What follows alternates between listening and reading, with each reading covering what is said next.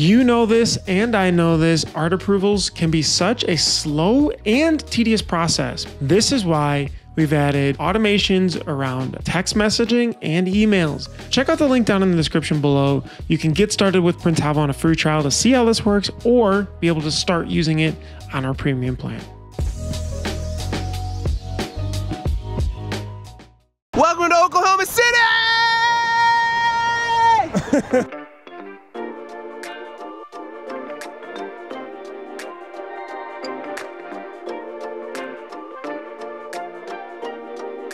why don't you say, hey, we're here in Oklahoma City. Hey, we're in here in Oklahoma City at Oklahoma City Shirt Company. No, you just say Oklahoma City. What's up, guys? Bruce from Printavo here. We are in Oklahoma City. At Oklahoma Shirt Company! All right, hopefully they'll make that look good.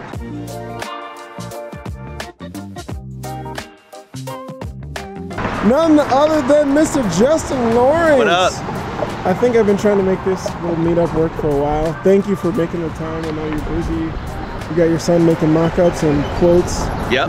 to kill the time real quick. Aaron, thank you. Yep. We appreciate you. All right, let's take a look. What do you got to show us? Let's go, man. Come on inside. We are. Uh, this is our traditional lobby. We're under a little bit of a remodel right now. When you, we just have warehouse spaces in downtown Oklahoma City, and so because we have those, it gives us the freedom to change things around as we see fit. So coming soon, this will be a new retail experience. But for now, uh, we just this is where customers come in and pick up their stuff, and this is where the magic starts. Wow. Wait, so these are all boxes to be picked up? Yeah. So we we needed a clever way of we have a will call and this is this represents like some boxes. This is again doing something with what we have in front of us, you know, and it not being fully programmed out. So we thought that customers come in up here, they pick up their orders. They have a big order, they go to the back and pick it up. But this just makes for a nice little something to go into. And if it's a small order, people can just pick their stuff up. What What do you want to turn this into? Yeah, so when this is when this is done, um, our customer care team um, and art department, which is back there, that will be we'll build out offices, and up here this will be a programmed out retail experience. So we'll have shirts up on the wall here, and we'll have shelves where people can buy things and look around and have trinkets that you can pick up here or you know around Oklahoma City. Just a, a nice retail experience that's more than just coming in, picking up your shirts and leaving. Got it. And does that play along with the monthly, the shirt of the month thing that you guys have been doing? No, shirt of the month will have its own corner. You know, Okay. right now, like this represents some of our past shirt of the month designs, and people can come through and pick out what they'd like. And uh, if they need one, we go grab it for them. Um, but yeah, we more retail focused, forward uh, shirt lines that we'll drop, um, promo products. You know, just whatever customer, whatever customer comes in, we want them to be able to get whatever they need. The churches, schools, nonprofits ordering their T-shirts, the downtown traveler looking for a souvenir, um, the later in the evening party crowd that's coming through and just maybe looking for a gift or something else. But whatever we can offer, we hope to have. it. Sweet. This is uh, this is a conference room. This is my office. Uh, this is again like we have a door right here that doesn't make a whole lot of sense in the middle of our retail. Um, so again, this is this will be a rearranged. We don't have a great space to meet with customers right now, so that's what Sang is doing. Uh, just as you can see, it's a little less than ideal, but soon it's coming.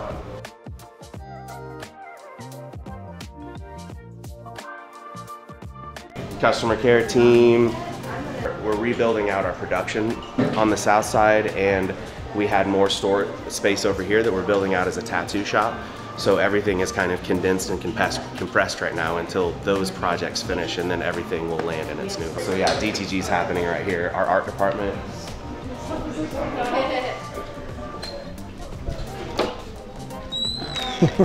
Lovely sign. Bye. Hey, we're live. We're on Instagram Live. This is maple, I'm Maple. Maple syrup. maple syrup. Zero. Shop gags. Shop, you know. We got geckos. I hope they're out right now. They're probably not. Oh, here's one. Yeah. Look at his head. About, Pop is. Osco and Squeegee. Oscar has a little. You ready? Yeah.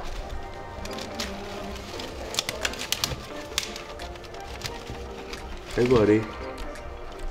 Hey, buddy. There you go, Oh my big dog. gosh, he's big. Big dog. Jurassic Park. Whoa.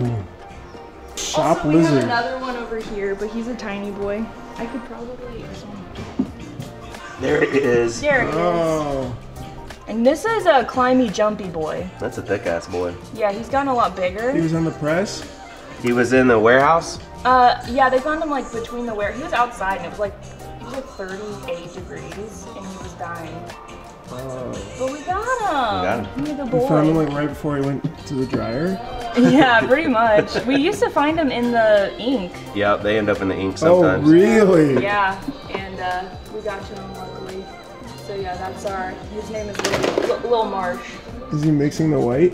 Mm-hmm. Yeah, we actually have all of our ink hand mixed by geckos. By lizards. It's really one of the. It's really one of the secret sauces here at Open Their uh, sticky feet add a nice texture.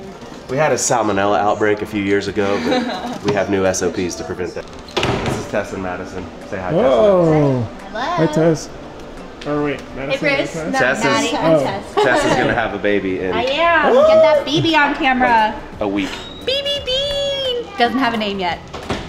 Should we name, Take a? Name it right now. Or her? Take a poll. Yeah, comment down below if you have your suggestions.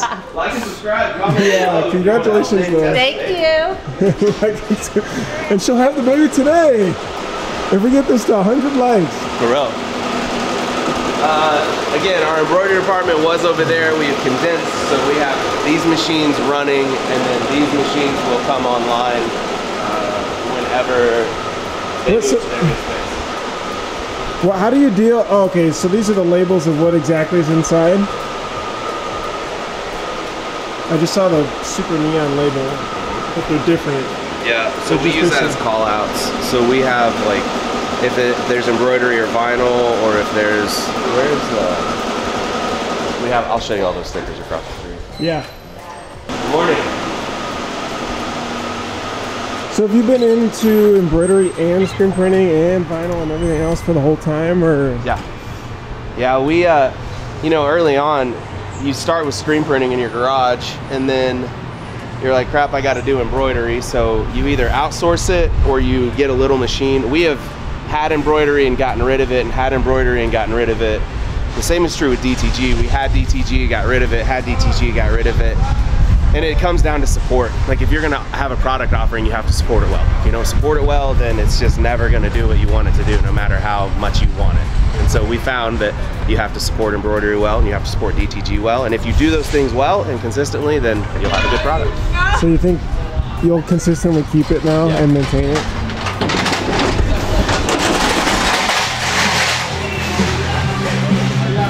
Hello. Oh my, hello.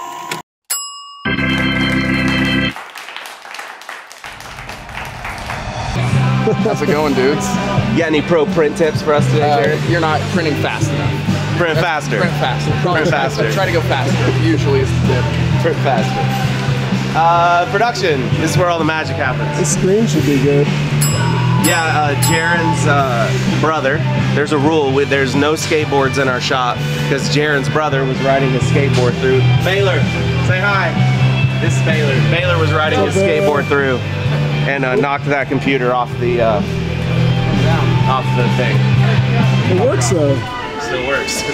Still breathe. Still works. Powered by Printavo. uh, yeah, production. Six automatic presses, workhorse products. Uh, we we have four on this side of the building, and then we have our other two on this side of the building. Manual press over there. Um, yeah, check it out.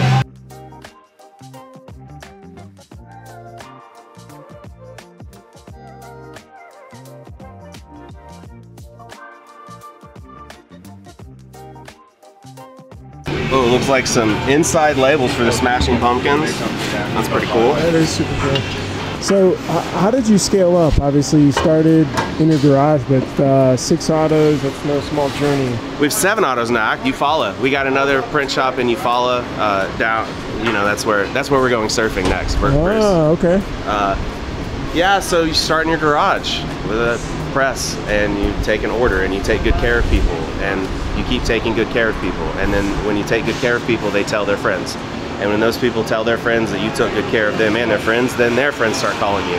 And then the next year when they reorder, they call you again and you take good care of them. So you just keep taking good, that's any business though. Take good care of people, they will come back to you.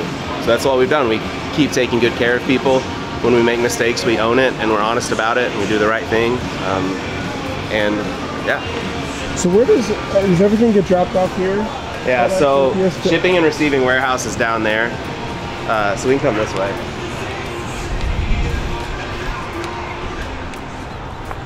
What's the van for? Delivery. Deliveries, live screen printing, pop-ups, uh, mobile billboard. Mo- mainly, it gets it gets used a lot for when people that work here uh, need to move. hey, Justin, can we borrow the van? uh, it's pretty. Employee perks. Yep, employee perks. So this is the tattoo shop that's going to be moving uh, next week, and then you see productions over there. Uh, our shipping and receiving is over here. So when that falls, they will communicate. Welcome to the dungeon. Tess's office. Where's Tess? this is Tess. She's our uh, warehouse. She's Hey Tess. breaking news. She's going to be soon our warehouse manager. Woo! Congratulations. Uh, yeah, this is uh, shipping, receiving. So we get all of our raw products here. We have teams that rebox them, um, prep them for production, and and then we also house blank goods here uh, for a few of our contract customers. Um, we house our our own retail, like for shirt of the month, um, our shirt of the month products, online products, and then our fulfillment happens back here, folding, packaging, and pad printing.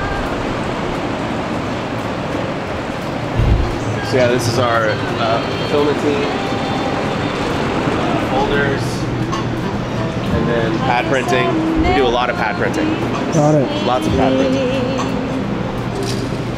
So you went with these versus uh, Rapid Tag or Yeah, we well we have uh, we have the rapid tag, and we found that for high volume, uh, using a pad printer, it you have to. It's kind of one of those things you have to go all in with. The ink is kind of fussy. The plates are hard to make, but once you uh, once you get a plate made, it's I mean it's a dream. Like you, it's it's so much faster and then as soon as you smash it it's done. You know it takes no time to dry and there's a reason why. It is the golden standard for private labeling but again it it's very specific for private labeling. The plates you know they you're either going to make a plate yourself or spend a hundred bucks every time you need a plate made. Um, but again for the it only works for a few of our special types of customers. If we didn't have those customers these machines wouldn't make sense. Got it. So you bought them to accommodate them Yeah, I bought one uh, when I picked up this account. Um, I I got one pad printer, then we found another one. Then Stephen Farrig actually was like, "Hey, Justin, we got like three of these things lying around. Um, you should probably take them from us." And so, well, we gave him some money, and but uh, yeah, those came from Campus Ink, um, and yeah, again because they ended they had them, and you have to have a very special customer for pad printing. But if it makes sense, um, it's the best. So we like it for um, if you're just doing a private label um, and then leaving the tag in, it works really well. There are some accounts, so for some customers, like these guys, you know, it makes a lot of sense to do. Oh no, not them. How do you make a plate? right. So is the ink sitting here and then it Yeah. Yeah, Koi, are you about touches to print? it and then touches the garment then too? Are you about to print? Okay. Yeah, check this out. So sometimes where it works well is like you'll do a, you know, just a size run. So, but if you're going to do 12 of these, it's silly because the amount of setup and prep and ink prep and all the things. But if you're going to do hundreds of mediums, hundreds of smalls, hundreds of uh, larges, extra larges, then uh, this is the best. Um, it's better than screen printing. It's better than pat. It's better than transfers. It's better than uh, screen printed transfers but those things get pretty close to doing the same thing. It just, and they're a lot easier. So yeah, if you find yourself in a situation where you do have to um, do a lot of incised tag runs, you can get creative. You know, like for us, we've said, oh, we can do this one. and then we have a paint pen that we'll go through and strike like oh that's the small one that's the medium that's the Oh, large gotcha. on the shirt don't use a sharpie you have to use a special pen because it bleeds through but it is a way of you can run all of the shirts with the same um, pad tag and then and it doing a hand marked thing gives it more of a craftsman you know handmade type feel. And then once people have once they've bought their shirt and it goes in their closet they don't really they're not concerned about size anymore. So really this is most important when it's in retail or when they're picking up their shirt. So uh, you can get we have found that a lot of our customers will be okay with the pad printing manual strike. Which cool Very cool. So it's really a volume thing. definitely a volume thing I mean, is there a certain number, like you know, a thousand shirts, ten thousand shirts, and then it's, Um, it makes sense for small runs if you have large runs to support it. If, it, if you're only using, it's kind of like the rapid tag, or it's like screen printing. It takes a certain amount of time to design something, make a stencil, set it up, uh, test it, run it. You can make screens faster than you can make plates. got it. Um, and so yeah, if you have a rapid tag or if you have a even those platens that you can print the image and the shirt at the same time. The truth is the fastest way if you're doing small runs like 100 pieces or below, you should probably be doing screen printed transfers. That's the fastest. They're shelf life, they're easy, one person can do it. There's not a lot of R&D. Um, but if you're doing consistent volume runs for a contract or a wholesale account where you're having to private label, or even if you put the same logo on the sleeve the same time over and over and over and over again, or if you do like it, under label things or inside or just small decorations that you're going to be replicating a lot, pad printing's a great solution. Cool. So everything's sorted, boxed. This is also being shipped out of here. Mm-hmm. How do you get stuff from here to the other side? That Yeah, just so right, yeah, right now it blows because there's a tattoo shop right there. So as soon as that tat- ta- tattoo shop moves, these walls right here fall. This opens up, and now we can transport pallets of raw goods over to production. Got it. And our freight docks and everything are down there where production is. So we will now have a better flow where we'll have raw, unproduced goods come in here. They'll get reboxed. They'll go this way. Uh, miscellaneous decoration like the, our embroidery, vinyl, heat pressing, direct to garment, all of that will move right over here on the other side of this wall.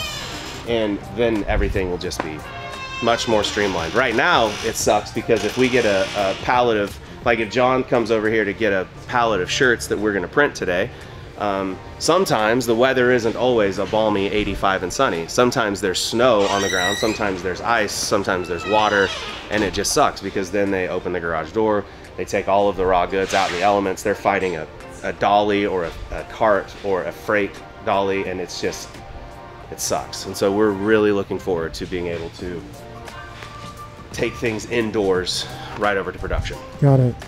Shirts counted in here, then wheeled over here, and then uh, darkroom. Yep, dark room. We'll go in right here actually.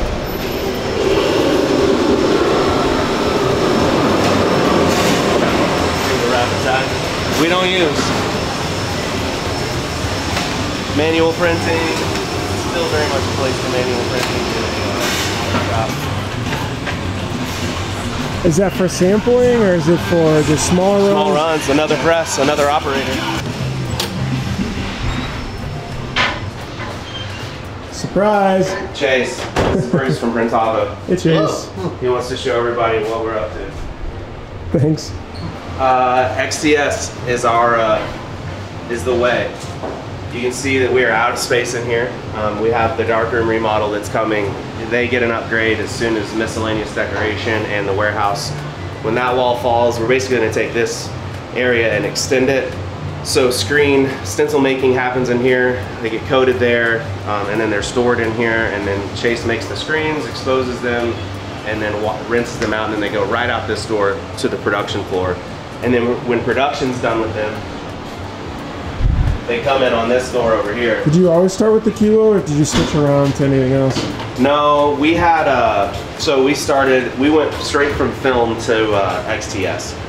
And we were looking at this was probably three and a half years ago that we picked up the XTS and we're super happy with it. Um, I wish we had another one. It just when you have one of something you have nothing, you know? So when that thing goes down, it's crippling. Um, we're very happy with the Kiwo XTS. Every piece of equipment has its issues, um, and so like anything else, when you're making a decision about what piece of equipment you should use, the way that the company supports you and communicates and handles it is, is paramount. And Kiwo and their team is they're very helpful and very willing to help us whenever they can. Um, yeah, and then reclamation.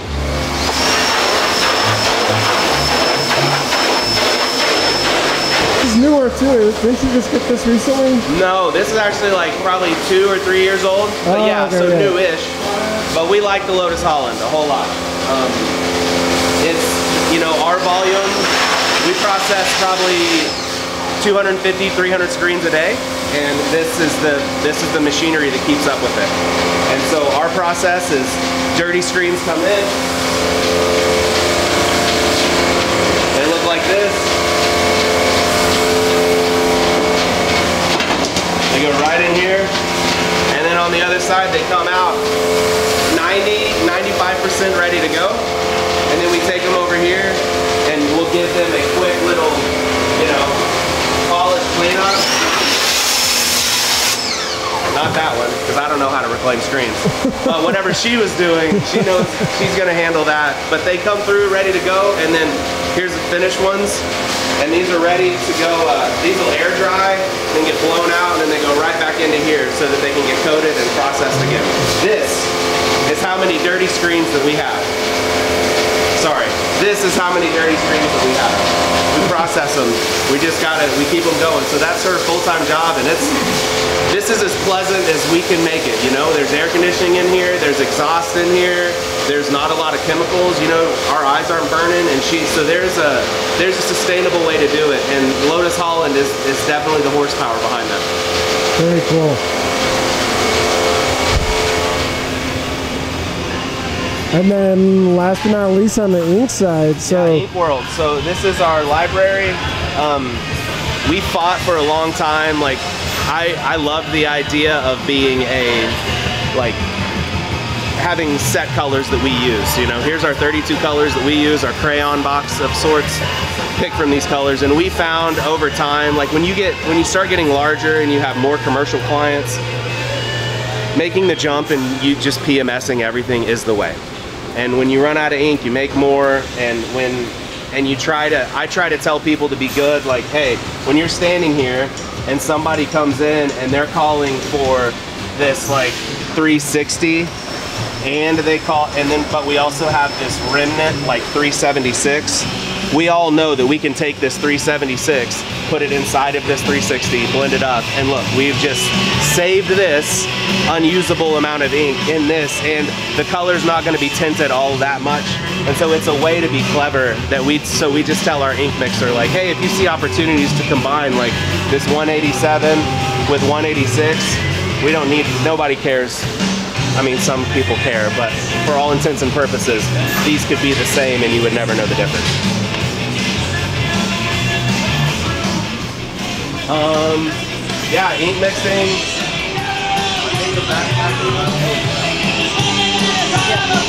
So when our uh, we have a pre-production team that just that gets the inks and screens ready for the press ops for what's coming next, and so they will they prep first thing in the morning and just get everybody's job. So when they look, they have their next job that's on deck, uh, so that they just have the least amount of downtime possible. got it. So they just start an hour or two or something before. Yeah, yeah. What time does the shop open? 7 a.m. 7 a.m. And they end earlier? Or Yeah, they end at 3, 3:30. Are you doing the four day or five day? No, five day work week. We we talked about four days, but man, a 10 hour day Yeah. in the screen printing shop when the heat. I mean, it's 9:40 a.m. right now, and it's already 85 degrees. So in Oklahoma, um, you know, we bring in as much air as we can and air movement, but it's still. I try to keep it below 90 in here, but it doesn't matter what you do. Sometimes it still gets above that. Um, exhausting your dryers. My hope is, is I think eventually I can add another, an additional 25 or 30 tons of air in here, and hopefully we could keep our doors shut and it can be kind of a closed um, environment. That's the next. That's one of the next things that I'm looking at in here is what we can do to just make it even more comfortable for the hardest workers that we have in the business. So these guys. Got it. Awesome. So what do you feel like? I mean, obviously space changing. You talk about AC. Any other things that you'd like to change or improve that over the next year? Yeah, we're moving. Um, we're gonna do a lot better with wayfinding down here. Again, it doesn't make a lot of sense to do manufacturing in downtown Oklahoma City because we have just this amalgamation of buildings that we've put together. When one becomes available, we have to get it as we continue scaling. I think we're done scaling as far as production size. I'm not buying more presses. Like if we get bigger, we'll just go to more shifts. Um, and so now it's really how do we settle, settle in here and take good care of what we have. Um, so next projects are just like building upgrades and wayfinding and customer. We're gonna do will call and pickup out here. What's wayfinding? Wayfinding like, hey, customer order pickup, go this way. Hey, customer entrance over here, employee Ah, entrance. okay. Because we have customers that park back there or park here or park up there and it's kind of chaotic. And um, I think that there are some strategies we can do to make the overall customer experience and uh, geographical experience a lot better, uh, just with some signs. And so those things will be going up um, here shortly. Heck yeah. All right, guys. This is Justin Lawrence. Thanks so much for being able to hang Of out course, today. Bruce, thanks for coming to Oklahoma. All right, you going to the lake? It's this afternoon. All right. This is Oklahoma Shirt Company. Make sure to follow him. Follow Justin Lawrence at Justin Lawrence. Yeah, Justin T. Lawrence, uh, Oklahoma Shirt Company, uh, Wild Boys. Thanks, guys. See you in the next one.